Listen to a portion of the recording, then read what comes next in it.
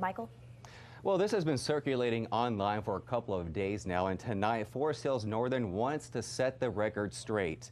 This all centers around these photos, which features a white student in blackface. Makeup that is in the past has been used to portray racial stereotypes. Now, we are not identifying the student in these pictures, but many who shared them on social media claim he ran down the halls on Thursday yelling racial slurs.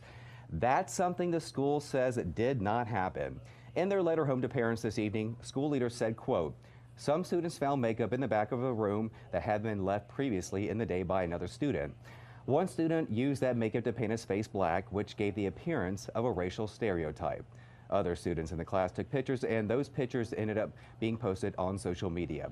The student then began cleaning his face. When it would not come off, he went to the bathroom to remove the makeup.